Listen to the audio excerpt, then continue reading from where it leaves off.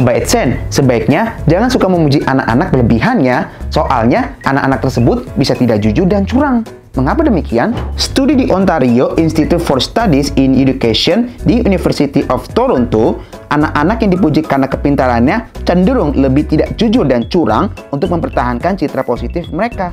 Jadi, sekelompok anak berusia 3-5 tahun bermain tebak-tebakan. Separuh anak dipuji karena kepintarannya, sedangkan sisanya karena kinerjanya.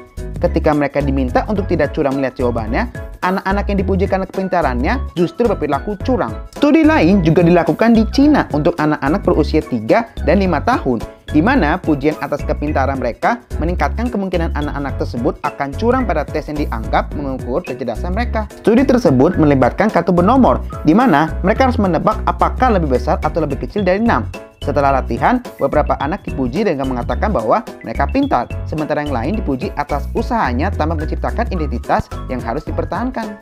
Hasilnya, anak-anak yang dipuji sebagai pintar lebih cenderung curang. Hal ini berlaku untuk anak laki-laki dan perempuan, serta anak-anak berusia 3 dan 5 tahun. Dari dua studi ini, kita bisa simpulkan bahwa kita sebaiknya memuji anak-anak dari tindakan dan perilakunya, bukan kepintarannya. Memuji anak-anak tetap ada aura positifnya, tapi tindakan dan perilakunya yang dipuji.